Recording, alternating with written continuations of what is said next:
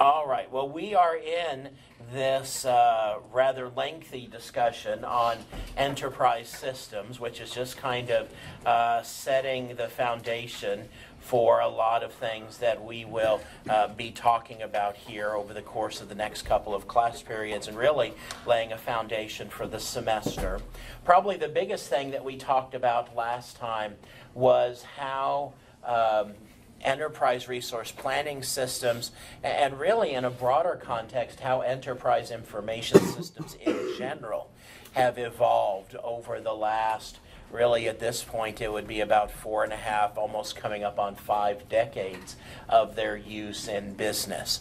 And we left off talking about the fact that in contemporary software development architectures, what a lot of companies are embracing is this idea of developing in terms of, and let me get my pen working here, developing in terms of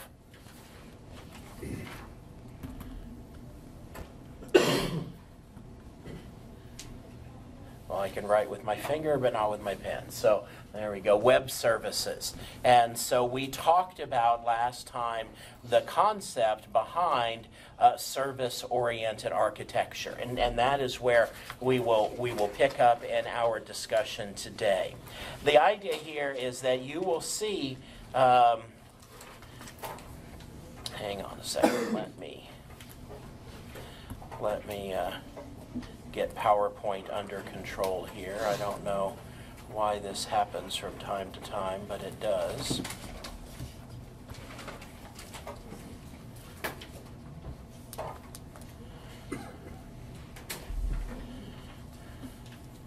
One of these days, Microsoft will make a technology that doesn't decide to flake out at the last minute at like the worst possible time. Um, they have not yet mastered that. There we go. Okay, so now let me erase that. And let's, there we go. Okay, so service oriented architecture. Contemporary enterprise applications are embracing this idea of service oriented architecture. And so the idea here is that when software developers are sitting down to write applications, they don't think of, first of all, of writing a monolithic application like we saw with the first generation of SAP ERP. They think in terms of writing these multi tiered applications like we talked about, where R3 was an example of a three tiered application. And then beyond that, they think in terms of the idea of writing our software such that it is a collection of services that do different things that provide functionality to other parts of the system. So, for example, we might create a module, and I'll put this on the slide here so that we have it. We might create a programmatic module that is named price lookup.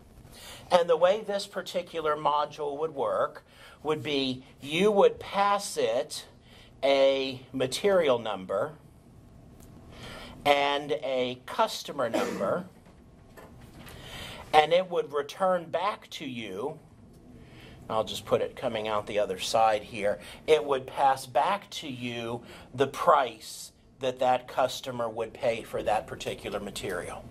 That would be a very, very simple service. You pass it information, it passes information back to you. Well, what we do when we create our software is we think in terms of okay, what are all the different modules like this that we could create? What are all the different services that we could create? And the idea behind this is once I create this service, now this could be reused in many, many different places throughout the application. We might have a marketing application that we're writing and it would need this functionality. We might have a pricing application. We might have some things in terms of logistics. This kind of functionality would be generically useful to us in many, many different specific applications. But we write this service one time and then it makes that functionality available to any other part of our system that would want to employ this. Now, we won't get into the really, really technical uh, implementation of how this works, but the web services architecture that's a part of the service oriented architecture follows a request response protocol, meaning you ask a question or you pass information to a given service and it responds with, with an answer. And the way it does that is it uses protocols that are already in existence and very well known and reliable in computing architecture. HTTP is the transport protocol used by the World Wide Web. And so when you send a message to a service module, you send it basically using the same kind of technology as you use when you are requesting a web page. So just like you type in an address, hit enter, and you get back a web page, that's kind of the same thing here. You're passing information to a module in the form of a request, and it's sending back a response. Now, on the web, web pages are at least typically HTML. Well, the response that you get back from a web service is XML.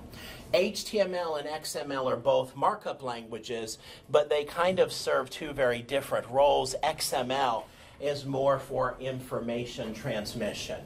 So what happens here is when you want to request, in my example, a price lookup, you create an XML document that's very, very simple. It just contains a material number and a customer number.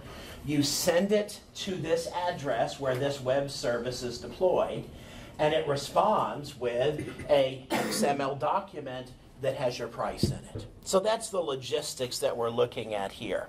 And there are places online that you could go to see an example of this. Some of these are kind of flaky as far as how they actually work, but the uh, National Weather Service has an example of this. And uh, let me see if I can remember where I go to actually run this example go to the following URL. All right, let's try this. Okay, so I want to find out the weather. Let's see, that's latitude and longitude. That's not what I want. Let's see if this one. That's the. Let's go to my other example here. That's the wrong document.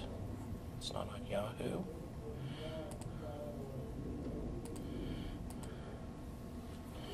This servicerepository.com is a, a, public location where a lot of these web services are listed, and, and some of them don't behave real great, but we'll see if we can get this to work.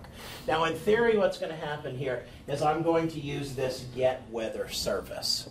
So I in order to use get weather, what I have to do is I have to pass it, I believe, a zip code, and it sends back, or actually, I pass it the name of a city, and it passes going to pass me back the weather in that city. Now, I don't know if it has Johnson City or not, so I'm going to pass it Atlanta. And notice country, I can leave that blank or I could put in a country. I'm going to let it figure out where Atlanta is. It should be able to do that. So I send just the city name Atlanta to this service and I get back this in response. What I should have gotten back if this were working, and this website is well known for being really, really flaky, I should have gotten back so you can envision here a, a document that tells me what the weather is in Atlanta right now, which let's just assume it's like 137 degrees and sunny. Mm-hmm. Okay? so that's that's the way this should work, and unfortunately I can't show you that example. But it's this idea of request and, and response. Let's talk for just a second here before we leave this topic about why this is the way a lot of software is being architected anymore. And, and by the way, as an aside, so what happens is when you buy SAP ERP, as you will see on the next slide, you are going to get a service repository. And in that service repository are a whole host of these web services. And when I say a whole host, I'm talking tens of thousands of them. Okay? And you can search through, and you might say, for example, I want a service that will let me find out a customer's account number. And I want to be able to pass that service the name of a customer and their address and have it pass back to me the, the customer number based on that. There's a service in there that will do that.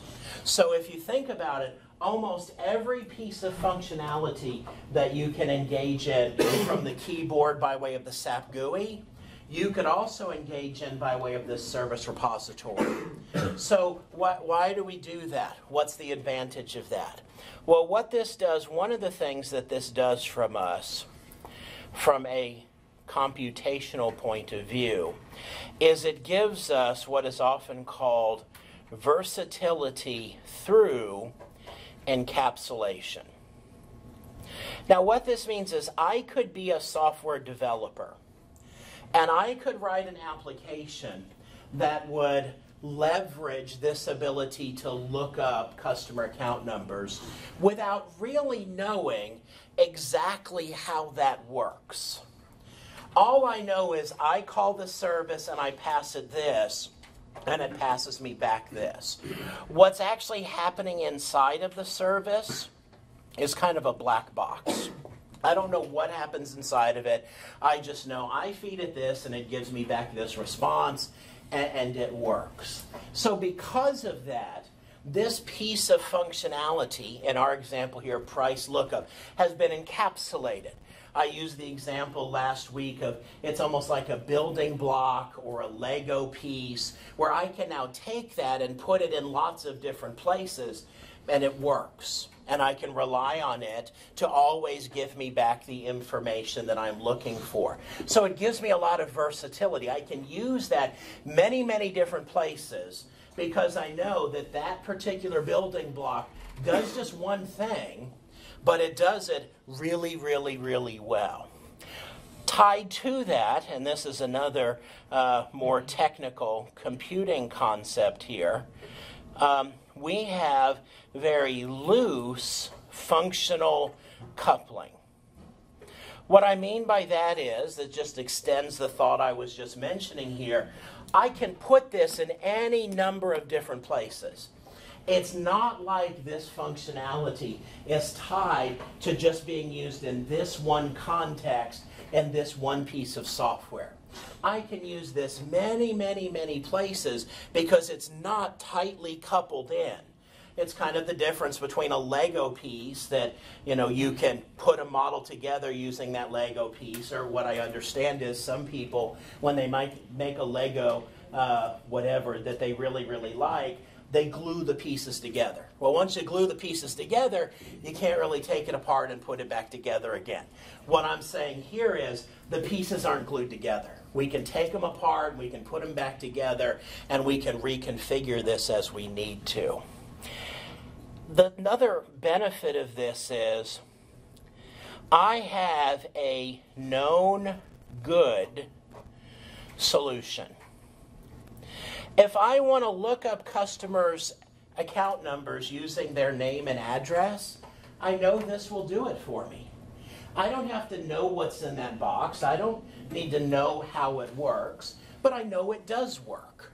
And so that is a known good solution to a problem, meaning I don't have to solve that problem for myself. And so that's a real benefit of this particular architecture. It allows, and I talked about this last time, allows the creation of composite applications. So, when I'm a software developer and I think in terms of building a new piece of software, I no longer have to think in terms of writing all of the code from scratch. I can now think in terms of, okay, here's what I want my software to do, and I can use these existing services as a part of that. And then I just have to write the code maybe that connects those pieces together or does some other specialized thing that's unique to my application. But I can leverage these known good solutions to create these composite applications. And I think we observed last time that in SAP terminology, they refer to those as X apps. And this is a huge new uh, paradigm that SAP is following with their UI5 and HTML5 applications that, that they are rolling out now. It makes things a lot easier for developers. As I've already said, you don't have to know what's inside the black box to know how to use it. So it's an abstraction of complexity. I don't have to worry about it. I can just use it. I know how to call it. I know what to give it. I know what it gives me back. And I don't really have to dig down in that. It also allows me, as the service provider, I can actually change the service code without disrupting overall application. Now, what do I mean by that?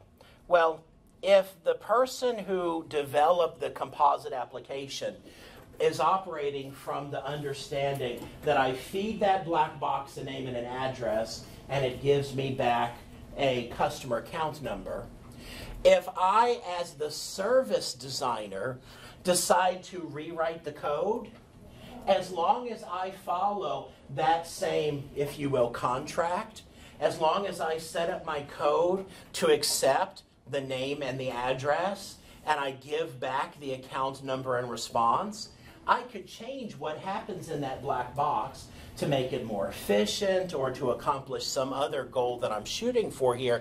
And I can do that without breaking the overall application because it still operates fundamentally the same as it did before, but maybe now it gives back answers twice as fast.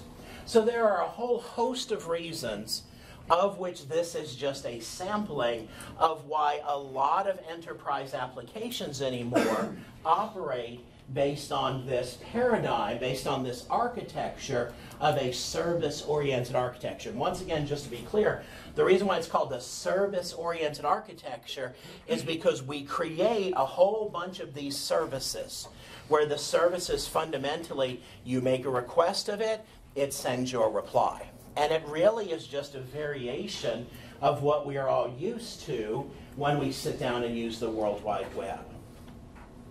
So, how does that, any questions about that before we keep going here? So, how does that work in terms of the overall SAP architecture? I mentioned to you previously that at the heart of our overall SAP architecture is NetWeaver. NetWeaver is kind of the technical foundation upon which everything is, is built. Well, this square here, this rectangle, illustrates the overall NetWeaver architecture, and we will not dig into it in great detail. But notice right here at the center, at the heart of this, is this Enterprise Services Repository. And that Enterprise Services Repository is a collection of these web services that I can, I can call. Now, what makes this somewhat unique in the SAP architecture is, is notice this right here design governance. Well, what does that mean? What that fundamentally means is I have in this repository a whole collection of web services. But these web services will operate consistently with how I have configured my system and designed my business processes. Let me give you an example. Suppose I have a service called cancel order.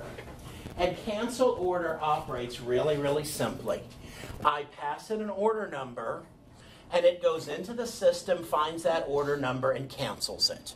And it then responds either yes, I canceled it successfully, or no, I did not cancel it. Okay? Really, really basic web service. So you understand the design of this service. You pass it an order number and it cancels that order. Well, maybe I have set up my system such that there are times when I will not allow an order to be canceled. What would be a scenario under which I will not allow an order to be canceled?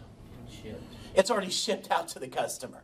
You know, can't do that. Once the order, and, and you know, that was one of those things where a lot of online companies in the early days, you know, didn't really test out all the particular scenarios. And you could do that on some of them. A customer would place an order, they'd ship out the order, the customer would cancel it and never have to pay. But they got the stuff. So clearly, we don't want to allow a customer to cancel an order after it's already been shipped. So this service corresponds with our desired way to execute our business processes. So even though the service says, give me an order number and I'll cancel it, it will, as a part of its functionality, check to see whether the order in fact is able to be canceled or not. And if it's not, it'll respond, no, I, I, did not cancel that order. So that's what we have going on here. We have this repository of services that do what we want, but at the same time, they uphold our desired way of executing our business processes. So that's at the heart of this. You'll notice down here at the bottom, are all of the different applications that are providing these enterprise services. Down here, you know, this is the SAP Business Suite, so that's SAP, ERP, and CRM, and all the things we talked about last time. There are other SAP NetWeaver applications, Master Data Management, Business Intelligence, and so on.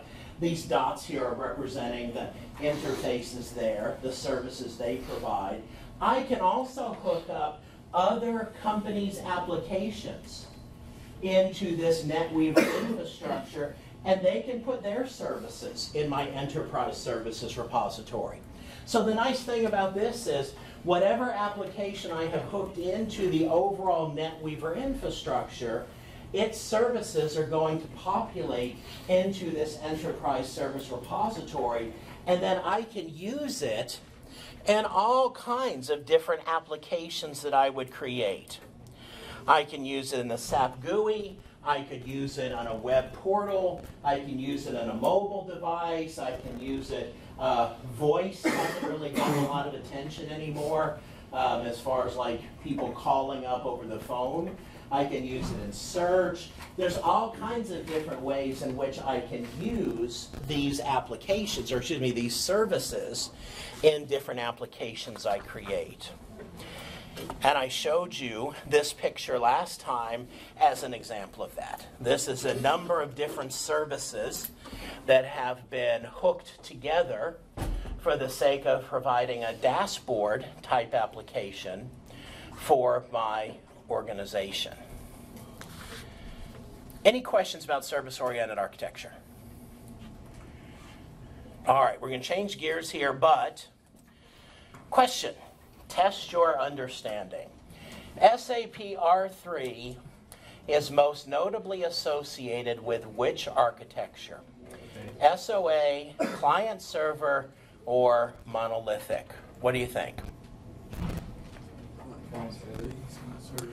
Client server is correct. R3 is associated with client server. Now, monolithic would be SAP System R or R1. R2 would also be monolithic. Uh, but R3 is the first time we saw the client server architecture debut. SOA showed up when we moved to SAP ERP which is the product that followed R3. So hopefully you got that one. Client server, yay. Which of the following would not typically be associated with SOA? XML, HTTP, composition, tight coupling, or abstraction? Which one is this one? Tight coupling? Tight coupling, D type coupling. We use XML and HTTP for transmitting the information and for the actual data itself. Composition, we talked about the idea that we can use these services to compose bigger applications. Abstraction is the idea that we don't have to know how it does what it does, we just need to know what it does. But we said tight coupling, uh, we actually said that it is loosely coupled, meaning I can reuse these pieces in many, many different contexts. It's not tightly coupled, it's not glued in to just one use in my overall system. All right, so we have now talked about the evolution of ERP architecture. Questions? Roger. Um, the idea of abstraction has a thing has a flaw in that uh, maybe, say for instance, you trust a service to do a certain thing for years and years, and, and uh, let's say that at some point the laws change where uh, tax brackets or whatever has to do with taxes change, and we still use the same thing we've always used. No one cares because they don't care to go ahead and dig deeper and find out what it is. And so there's not a chance of maybe shooting ourselves in the foot there by I'm glad you even used the example that you did, and, and for the sake of the recording, if anyone listens to it, Roger raised the question of, you know, how do we know that a service that we haven't used for a really long time doesn't just stop working or stop working correctly? You know, how, how do we how do we know that we're going to consistently get the correct response if we don't really know how it does what it does? Well, one example of this that is fairly universal for businesses these days is, and I'll, I'll put this here. Um, this is an e commerce example, but it would also be relevant in other contexts. Sales tax. Sales tax, which apparently you now spell with an X at the end of the word sales, uh, sales tax is a pain in the neck. Okay? Um, have you ever bought something online from a company and you go to checkout and you put in your zip code and the website responds and says, which county do you live in, Sullivan or Washington County? Depending upon where you live, you might have seen that question. Well, why do you get that question? Well, sales tax is really, really hard to compute if you're thinking in terms of creating an application that would allow you to sell across the entirety of the United States. And let's just think in terms of the United States right now. You know, you might live in Johnson City, Tennessee, and so you know the sales tax here, but what's the sales tax in San Diego? And does it vary depending upon what kind of product the customer is buying? And is it kind of like we see here where food is taxed one way but non edible items are taxed another way? Tax codes are really, really, really complicated. It doesn't matter whether you work for Amazon or some really small fly by night company. Nobody wants to spend a lot of time worrying about tax codes. But the thing is, you've got to collect and pay sales tax, or somebody's probably going to go to jail. So you don't want to have that happen.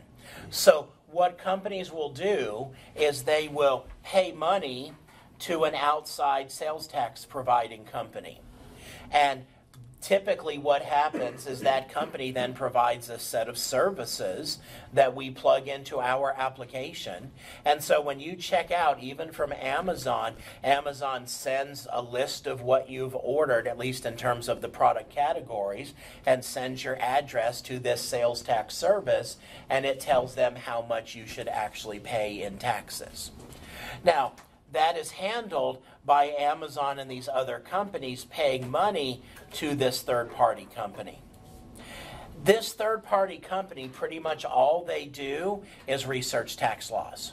And they have a staff that is up to date. Anytime the tax laws change everywhere, they find out all the ins and outs of it, and they update the code that their company provides to make sure that customers are paid paying appropriate tax.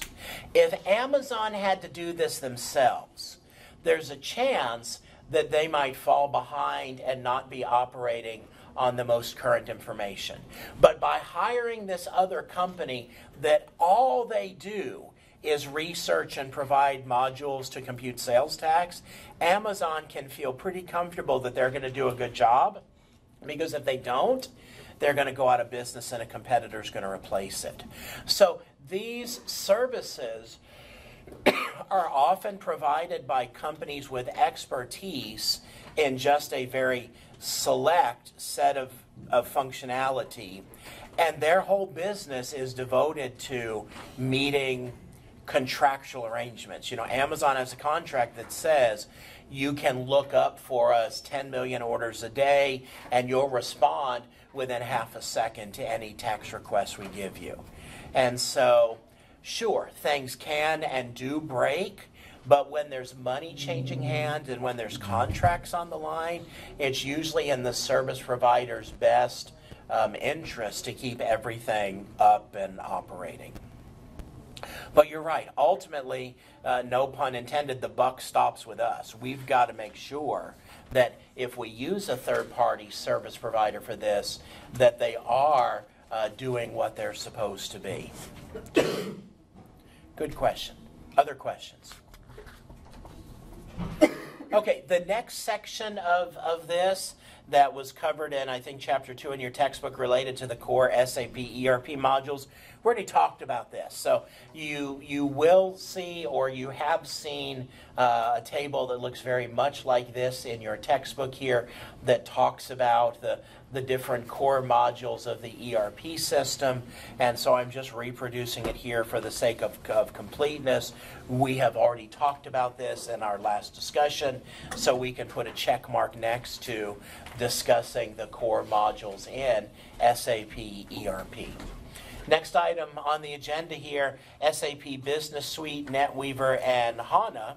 And, and we talked a little bit about this last time as well. We have this idea of SAP Business Suite, which combines SAP ERP, which is the core application in most companies' infrastructure, with other tools that provide additional transaction, additional modules, if you will, additional services to the service repository. We have CRM, which is focused on our customer relationship, SRM, which is focused on our relationship with our supplier, product lifecycle management, which is lifecycle data, uh, quality management, asset management, added functionality in all of those domains, and then supply chain management, which gives us functionality for transportation, for inventory and warehouse management, and other things of that sort. The idea here is that uh, ERP systems are focused on allowing us to execute end to end business processes. So, the more systems we add to our overall architecture, the more types of business processes we can actually accomplish that with. What I don't know that we talked about last time is the benefit that SAP Business Suite provides in terms of our being able to link up our operations with our suppliers. If we're the company in the middle and we are running supplier relationship management, and one of our suppliers is also running SAP Business Suite, their CRM module and our SRM module can very, very nicely be hooked up together. And what this affords us now is this idea of we can we're still thinking in terms of business processes but instead of just being able to confine the execution of a business process to what happens within our organization we can now think of a business process actually existing across our entire supply chain.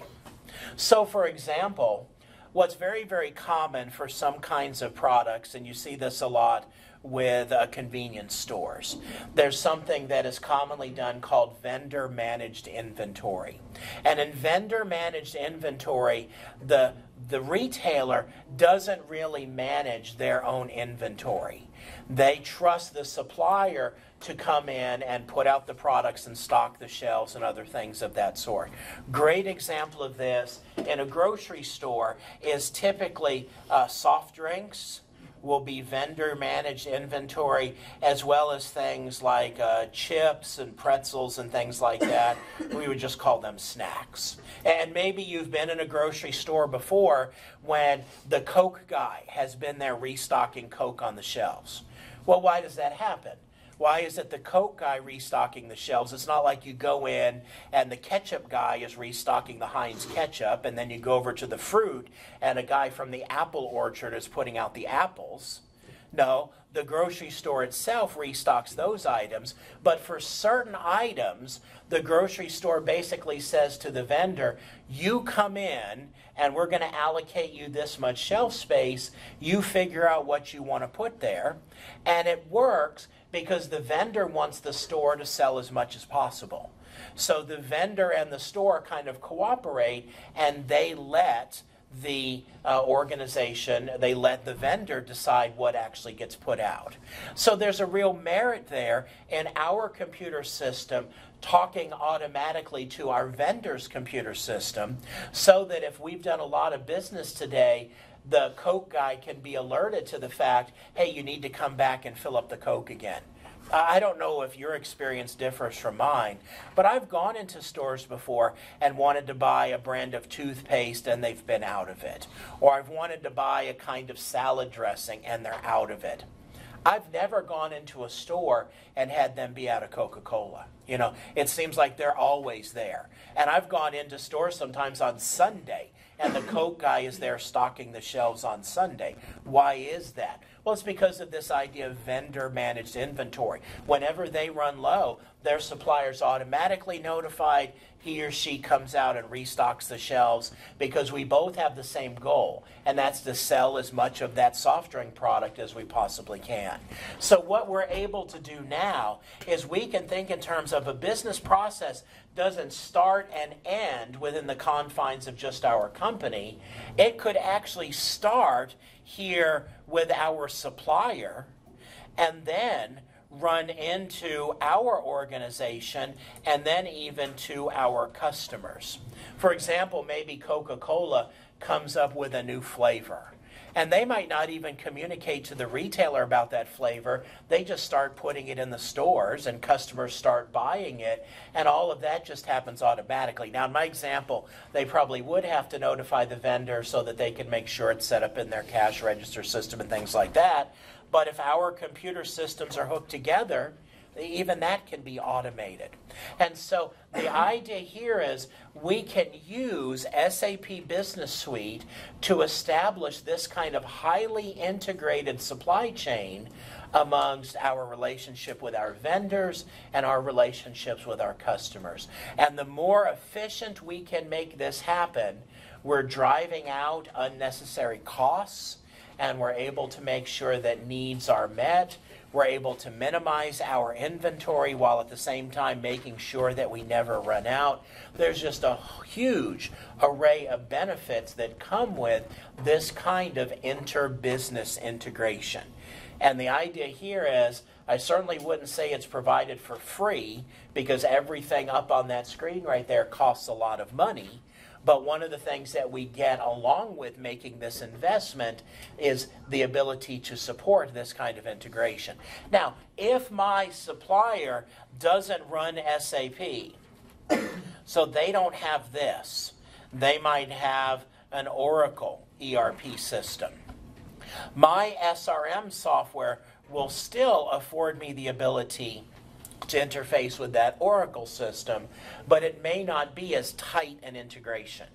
I may not be able to do all of the things that I could do if we were running SAP with both us and our supplier. Any questions or comments about this? All right, the next slide I can promise you will generate several questions on your midterm exam and on upcoming quizzes. And that is let's talk for just a minute about NetWeaver. NetWeaver is a tool for providing integration.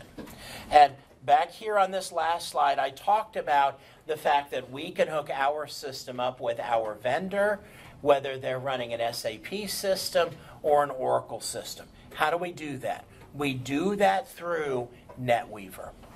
NetWeaver is kind of the computing equivalent of a really, really complex set of plumbing supplies. And it lets us hook different pipes together so that systems can communicate with one another for the efficient exchange of information.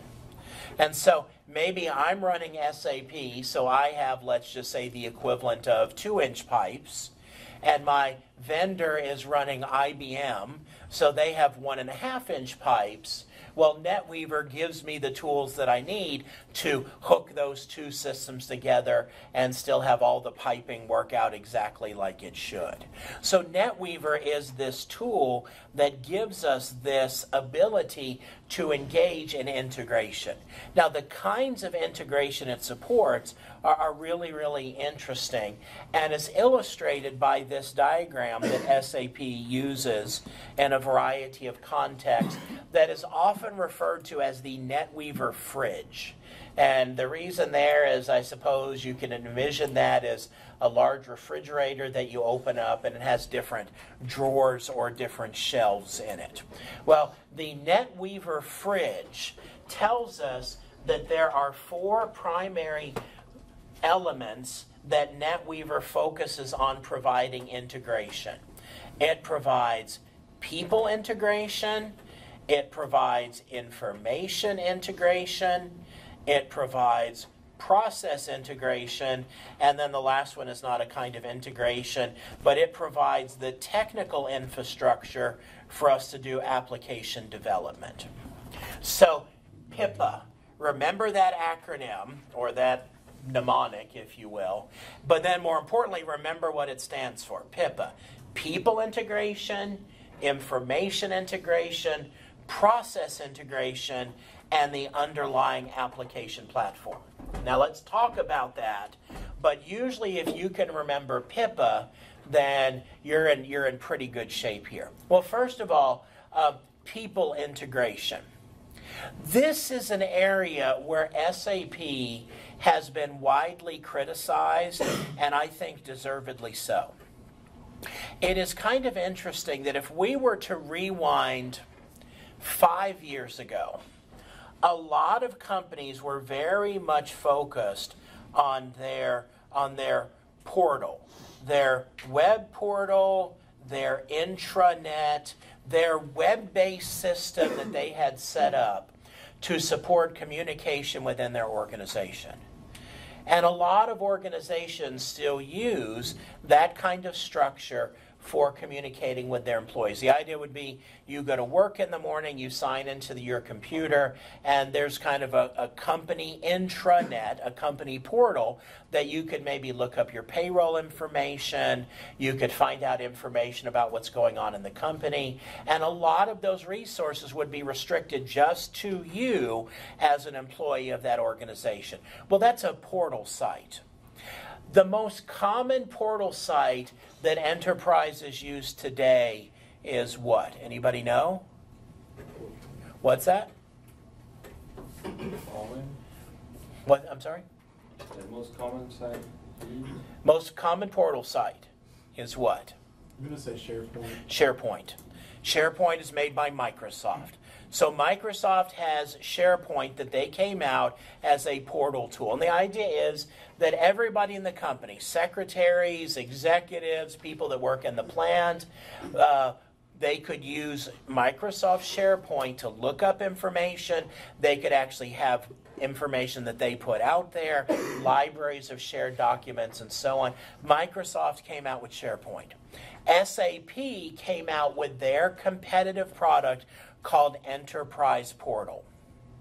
Here would be a challenge for you go to an SAP trade show and walk around for two days amongst the thousands of attendees and see if you hear anybody at any point say anything about Enterprise Portal. I'm going to bet that you won't. Because it is widely agreed that SAP Enterprise Portal is not worth talking about because it's just not a good product. So SAP kind of abandoned the portal idea, realizing that a lot of companies would want to run Microsoft SharePoint. And, and they can. You can run Microsoft SharePoint, hook it up to NetWeaver, and it'll let you deploy all of your SAP infrastructure into SharePoint. But part of NetWeaver is SAP Enterprise Portal. And here's how you know that SAP doesn't care about this product much anymore. You used to have to pay for it and license it as a separate application, and I'm pretty sure now you just get it for free when you buy NetWeaver. So when SAP decides to stop making money off of it, you know it's, it's just not that important to them. But one of the things that is provided by NetWeaver as a tool for, for people integration is a lot of different applications and services that support letting people exchange information. This is everything from being able to set up wiki sites that are web based to setting up electronic chat rooms to uh, video conferencing. NetWeaver can help with all of that. You can set up your company infrastructure so that NetWeaver is the tool that's driving your integration.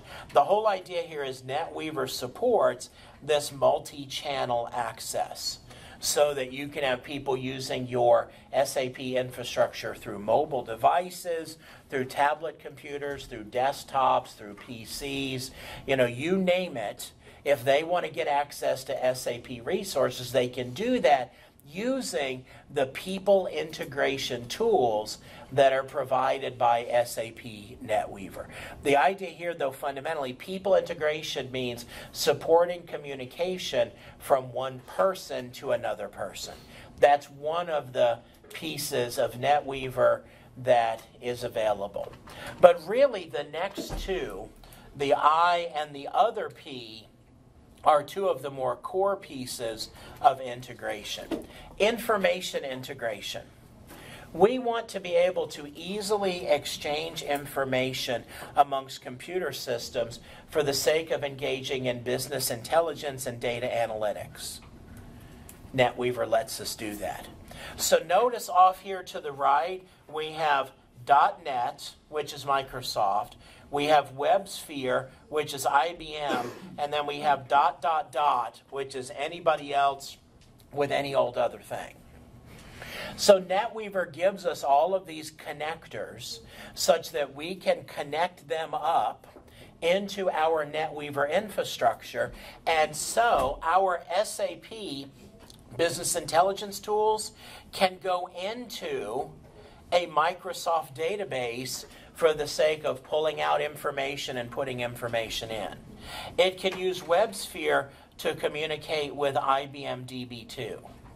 So I can have a very diverse set of computer tools, but if I let NetWeaver drive, and I hook all of these other tools up to NetWeaver, I've now connected the plumbing so that all of my computer systems can, can engage in information exchange with one another. and how is that going to happen? Through NetWeaver's ability to facilitate information integration. So now, although I have different computer systems, I can use NetWeaver as a unifying tool. One example of that that is very valuable in organizations is master data management. And I've used this example in some other classes, so you have to excuse me if, if, if you've heard this one before. But if I look in my IBM DB2 database and I see a product there with the material number JJ MR127, and then I look in my SAP ERP database and I see a product with a material number of JJMR1273. Well, the first question is are those two products related? And is it possible even that that's the same product, just with slightly different codes in two different systems? We run into questions like this all of the time because companies can be somewhat sloppy in their coding and in their naming of things. You know, if you were inclined to say that these are two different products, suppose the textual description for this was work glove model 127, and the description of this guy down here was work glove model 127. You know, now you might be inclined to say, oh, well, I guess it is the same product, even though we're using slightly different codes and slightly different systems. From a database perspective, this is a nightmare, okay? This is an extremely common problem in organizations. And so, what we have to have is we have to have a way of rationalizing this. We have to have a way of driving this out of our infrastructure so that every system we have, even though some of it might be from different vendors, every system is using the exact same codes for the exact same thing. That is master data management. And that is a function that SAP NetWeaver can provide for us. And it is something that is very uh, frequently focused on in contemporary IT infrastructures. So, NetWeaver provides people integration, it provides information integration, and then it provides process integration. So, the idea that I have various systems Maybe a system that's a part of the SAP Business Suite. Maybe it's a system from another vendor. And it can trigger the start of a business process.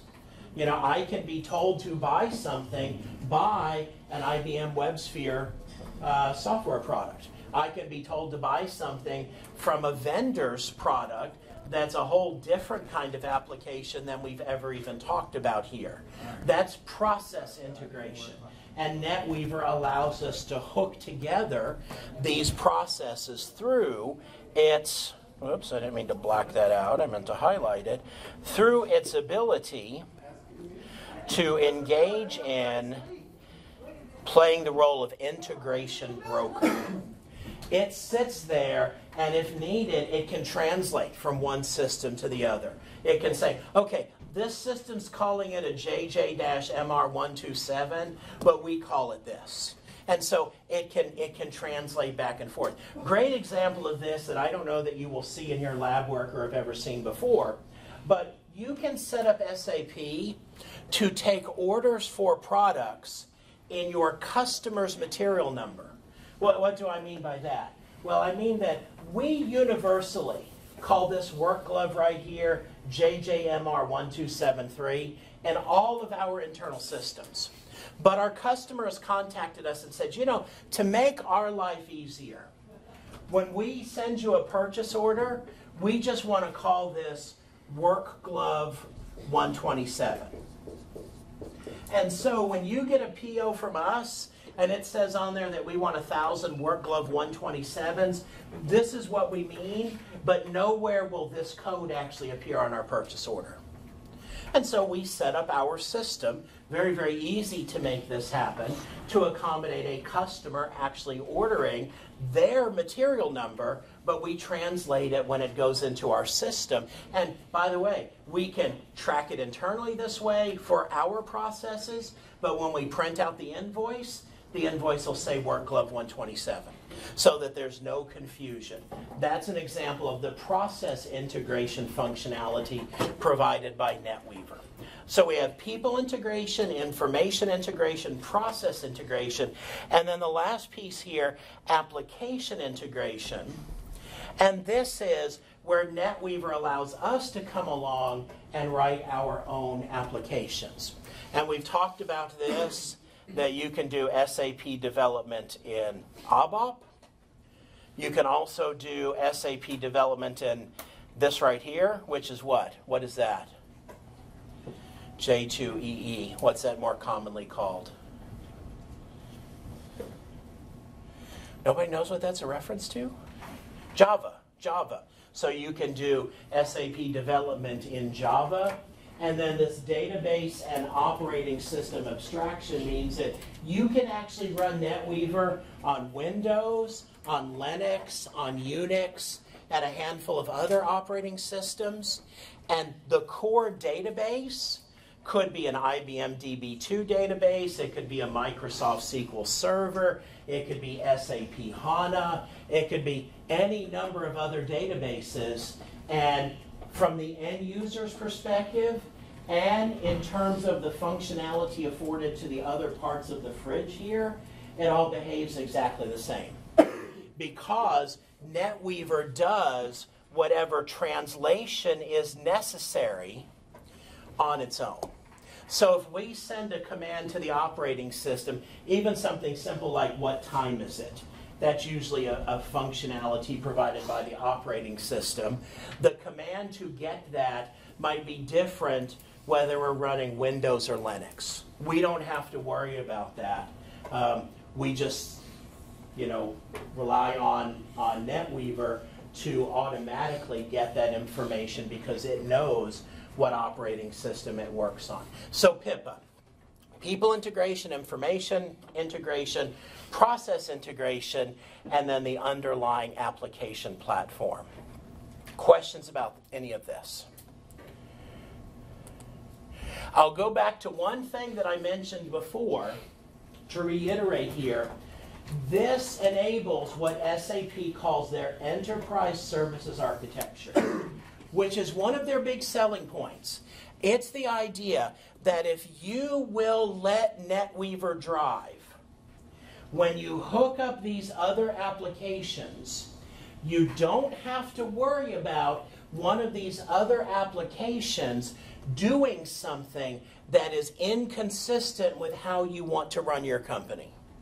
You know, we hook our system up to one of our suppliers. Or better yet, we hook our system up to one of our customers so that our customers can place orders with us. And we want that to happen because it allows us to service our customers much more efficiently. But what we don't want to have happen is we don't want to send the customer a quote that says if you buy work glove 127s from us, the price is going to be 1270 per unit. And then they try and place an order and it goes into our system with a unit price of $1.27. So the idea here is their system and our system are hooked together, but our system is going to make sure that as there's information exchanged and as there's different things being done, that nothing is being done inconsistent with the way we have set up things to operate. That's called this enterprise services architecture, which is, as it says here, it's a bundle of ERP functionality that deploys our business functionality, all of our services, while still enforcing our business rules. So that's the real compelling argument for why an organization would want to go this direction. Somebody's got to be in charge, or some technology has to be in charge. And so we use NetWeaver. It lets us hook all of these systems together and enforces the integrity of how we want to do our business processes. Now, you look at this and you say, that seems like it's probably somebody's full time job just to keep NetWeaver up and running. And depending upon the size of your organization, that may be several people's jobs. They fulfill the role of what's commonly seen in advertisements as uh, NetWeaver administrators. In some organizations, they still use really, really old terminology. Before NetWeaver branded a lot of this as being a part of NetWeaver, they referred to this kind of foundational infrastructure as basis. And so you'll see job ads out there now for basis administrators. Same idea, just old terminology versus new terminology. And these are going to be the people that keep our system up and running, that keep it performance tuned, that make sure that as new systems come up, they're properly configured in the system, they monitor performance, all kinds of things that fall under the umbrella of this. And by the way, something that we have not mentioned, but is a huge focus of this, is security. Because you can bet that if you're hooking these different systems together, and we're talking about sharing information with other organizations, that there's information that we want to share and there's information that we don't want to share. And so all of that is going to be managed and mediated and controlled and audited by the NetWeaver infrastructure. Questions?